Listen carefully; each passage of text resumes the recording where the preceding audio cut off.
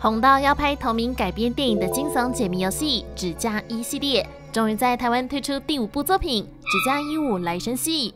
这一次场景来到了戏院，原本应该是在演《梁祝》的戏，结果我们却被女鬼关在了戏院里面。